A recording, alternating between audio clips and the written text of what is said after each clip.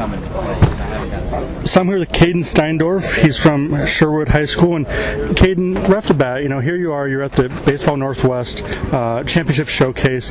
What things are you hoping to, to demonstrate and show to the coaches uh, while you're out here on the field? uh, being able to like have pitch selection as well as being able to see the ball off uh, very talented pitchers, as well as being able to show a good defensive glove and just an IQ that's high.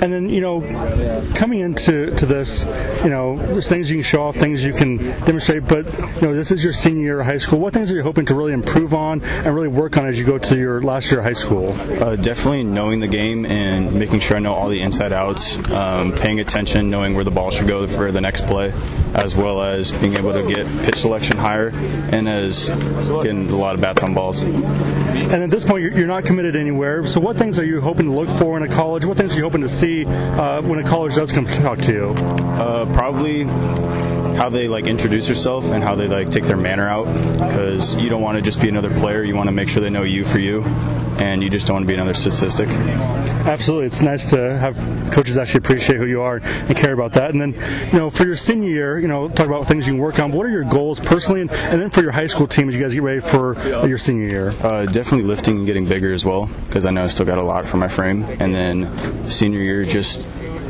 just going out and playing as hard as i can And then for a lot of young players, they'll look at major league players and kind of, you know, find a guy who they like to follow or, or watch. Is there a player you've kind of looked at and said, you know, I like his style, like his attitude, kind of want to be like that? uh, brandon crawford definitely for the san francisco giants Yeah, Brandon's definitely one of those guys. Talent defensively, um, has a nice swing as well.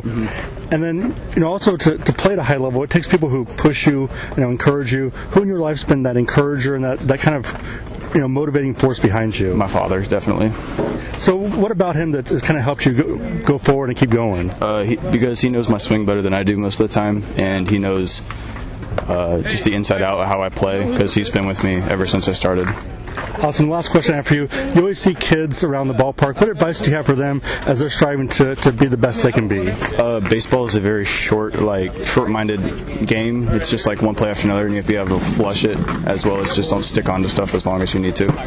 Awesome. Well, thank you very much.